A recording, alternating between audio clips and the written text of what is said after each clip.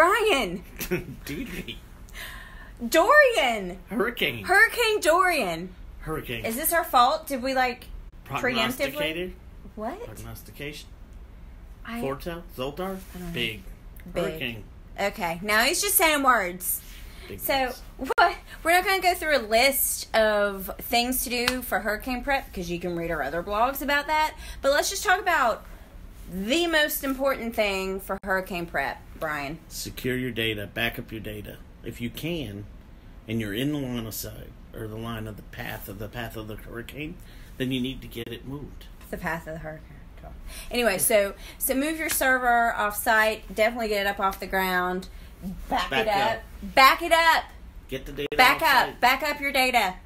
Back it up. So you should back up your data.